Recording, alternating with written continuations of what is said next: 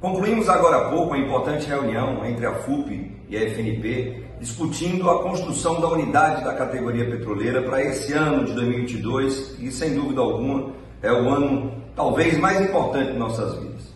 Dentre vários pontos aqui nós conseguimos fechar a necessidade de nós entregarmos as nossas pautas de reivindicação de forma conjunta no dia 2 de junho, com a participação de todos os nossos sindicatos. E também sinalizamos para depois dessa entrega das nossas pautas, nós fazermos uma nova reunião entre a FUP e a FNP.